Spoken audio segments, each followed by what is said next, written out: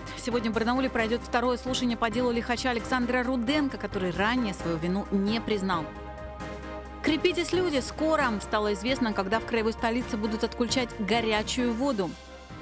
Аншлаг в торговом центре. Сотни горожан насладились выступлением Бориса Гребенщикова бесплатно.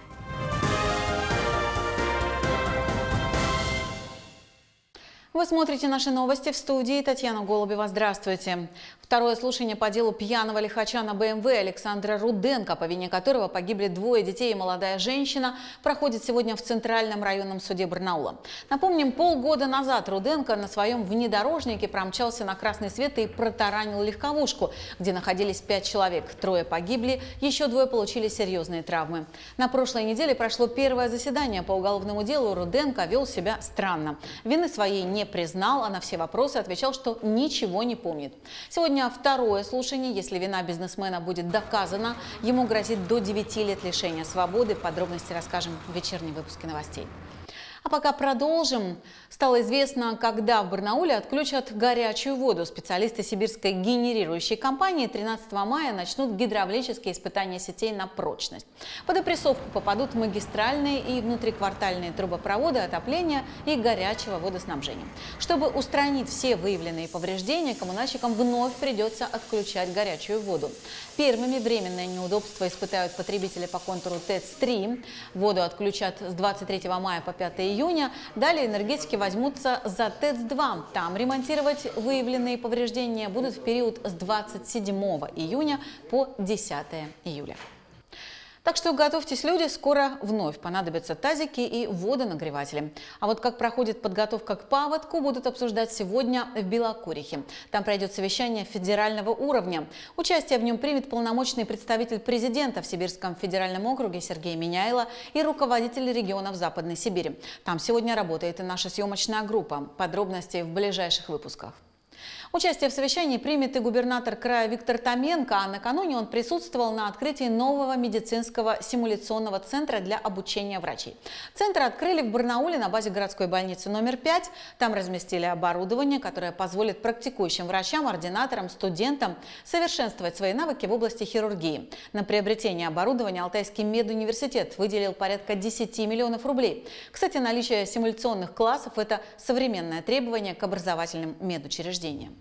Это позволит нашим врачам здесь на месте проходить дополнительную подготовку для того, чтобы потом э, получать соответствующие аккредитации, позволит им сэкономить время, во-первых, э, значит, не ездить в другие регионы, как это было раньше, ну и э, Конечно, я убежден, что и качество подготовки, дополнительной подготовки здесь будет у нас расти.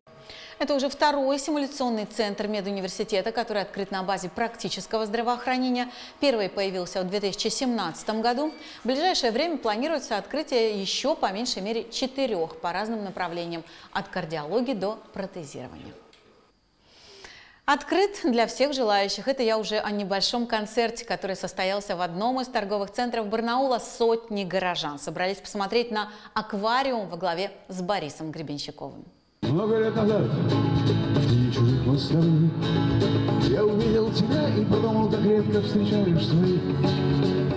65-летний Борис Гребенщиков на это выступление привез группу в полном составе. Коллектив исполнил несколько уже известных песен, а также новую композицию «Изумрудные дни», которая для барнаульских зрителей вживую пока не исполнялась. Закрывала небольшое выступление знаменитая «Ну-ка, мечи стакан на стол». Такие бесплатные исполнения песен – частая практика для группы «Аквариум». Сегодня коллектив играет полный концерт в ДК моторостроителей. И сегодня же День театра. По-своему причастными к этому событию чувствуют себя участники театрального проекта журнала «Автограф. Большая сцена». Репетиция юбилейного пятого сезона в разгаре. Затем, как продвигается творческий процесс, одной из театральных групп наблюдал Андрей Дреер. Маргарита! Они любители. Это можно сказать и об уровне актерской игры, и об отношении к театру. Театр для меня все. Я очень люблю быть зрителем в театре, а побыть внутри театра, изнутри узнать все это, это гораздо интереснее. На самом деле попасть на проект для меня была уже давняя мечта. Я внимательно следила за предыдущими сезонами и посчитала просто необходимым поучаствовать в таком символическом и знаковом пятом юбилейном сезоне. Кто-то из них хочет разнообразить жизнь, кто-то считает, что актерские навыки могут помочь в работе, а кто-то перенимает театральный опыт для настоящего проекта. Например, инвестор Андрей Загарин решил снять, как он говорит, почти водевильный фильм о себе и друзьях. Здесь учится работе с актерами, игре и организации самого процесса. Самое удивительное, что в моей компании двое хлопцев такие, о, ты что, записался? Я говорю, да. А что нас не позвал? И они тоже записались. Но они в других спектаклях, у других режиссеров. Прикольно. Их можно мять, как пластилин. Так принято говорить о профессиональных актерах. С любителями же иначе. Материал режиссер подбирает под них, чтобы сыграть смогли. На этот раз филитоны Аркадия Аверченко. Прием игры, который мы заявляем, это такой как бы, ну, условно плохой театр, э, который, в который охота поиграть. И э, вот игровой такой момент, когда э, люди ну, только начинают с подмозгами сталкиваться, они еще не то чтобы многое могут, но очень хотят. Премьера этого спектакля состоится 18 апреля на сцене ДК города. Часть вырученных от продажи билетов средств пойдет на благотворительность. Андрей Дриер, Николай Шилко. Наши новости. И в завершении выпуска о погоде спонсор прогноза компании «Валар». Замените свой обычный чай на чай Эвалар Био из целебных трав Алтая. В чаях Эвалар Био вся природная сила Алтая для вашего здоровья. Спрашивайте в аптеках. На большей территории края облачное тепло, плюс 6 Бийский, 7 тепла, в Белокурихе 9, выше 0 в Рубцовске, в Барнауле малооблачно, ветер южный слабый днем до плюс 3. А я напоминаю, телефон редакции в Барнауле 722 440, полная картина дня в вечернем выпуске. До встречи.